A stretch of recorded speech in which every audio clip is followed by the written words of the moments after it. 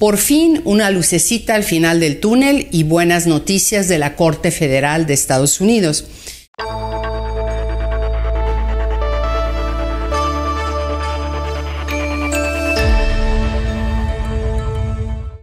Hubo una ley, no sé si la escucharon, el año pasado se supone que iba a tomar efecto febrero del 2020, donde ahora los cónsules y los oficiales de inmigración pueden utilizar de manera más grande, no que no lo podían hacer antes, pero de manera más amplificada, el que una persona haya sido o tuviera la tendencia de ser carga al gobierno. En inglés le llaman public charge. Y muchos han estado preocupados, me afecta que pedí en tal fecha, que pedí tal cosa, que pedí para mis hijos.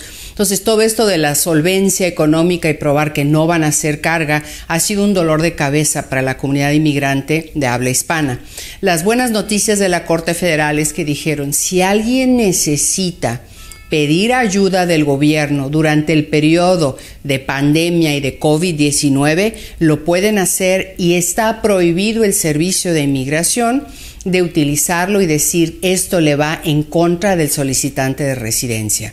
¿Qué quiere decir? Que si usted está en necesidad de estampillas de comida, de Medical, que es asistencia de gobierno, pero en forma médica, o de dinero, lo puede pedir si le han quitado su trabajo, le han reducido las horas, ha perdido su trabajo puede pedir asistencia pública si está en trámites de residencia, pero obviamente no es para toda la vida, va a ser durante el periodo denominado pandemia.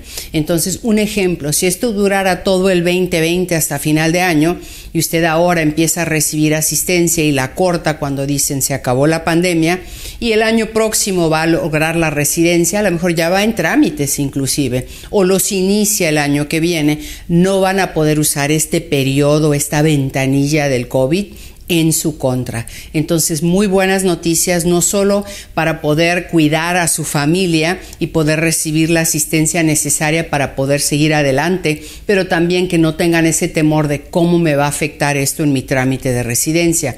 Les recuerdo, me han hecho muchísimas preguntas por las redes que si les afecta para la ciudadanía, o sea, los que ya son residentes están con temor de que cualquier tipo de ayuda que reciban durante este periodo de COVID que les va a afectar para la naturalización. No afecta.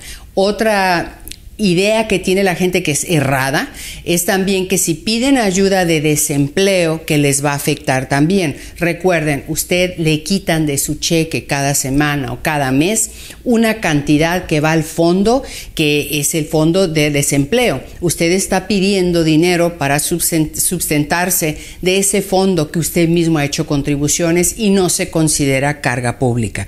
Entonces les digo esto para tratar de alguna manera, aunque sea pequeña, de tranquilizar tranquilizarles, que pidan la asistencia que necesitan durante este periodo histórico de la pandemia del COVID y a la vez no tengan miedo que les va a afectar en su residencia permanente.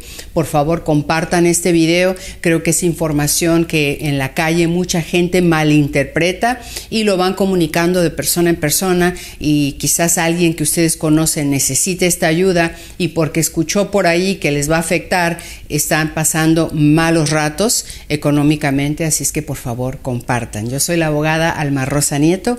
Hasta la próxima.